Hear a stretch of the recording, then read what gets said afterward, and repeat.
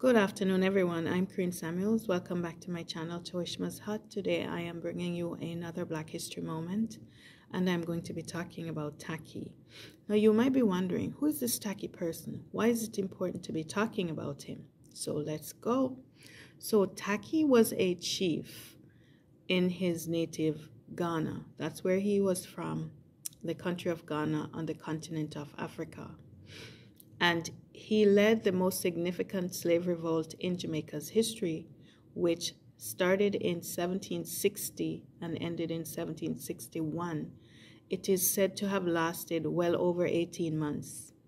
And this rebellion started on April 7th, 1760, in the parish of St. Mary. Now, why was this revolt important? Why was this rebellion so important? Here we go. So, this war was one of the most significant slave rebellions in the Caribbean during the 18th century before the Haitian Revolution, which began three decades later. The speed of the initial assault enabled the rebels to overpower the British forces at Fort Haldane at Port Maria, where they obtained arms and ammunition. They moved on to overrun the plantations at Haywards Hall and Esher. By dawn the following morning, hundreds strong, they had fought their way inland, capturing estates and killing European settlers where they found them. Tacky's campaign spurred on uprisings on estates in the parishes of Westmoreland, St. Thomas, Clarendon, and other estates in the Caribbean.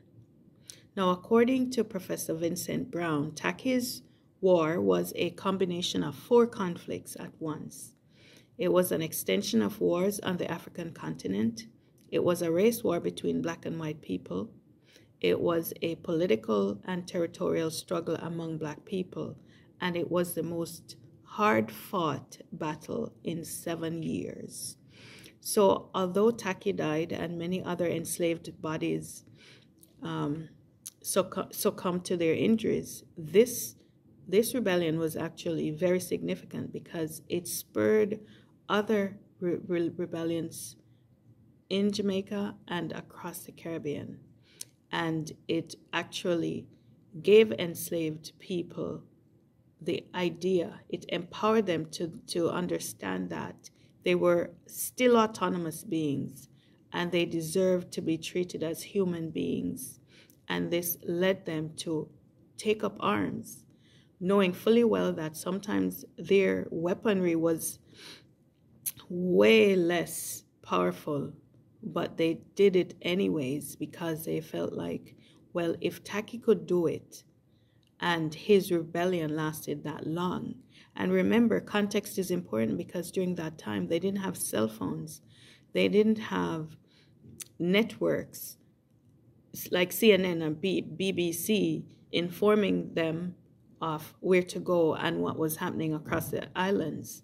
No, they did this on foot for the most part and using sometimes inferior weaponry, which triggered the first the amelioration of slavery and eventually the abolition of slavery. So that's why Tacky's rebellion was so important to not only the enslaved bodies on the island of Jamaica, but other enslaved bodies across the Caribbean. Thank you for watching.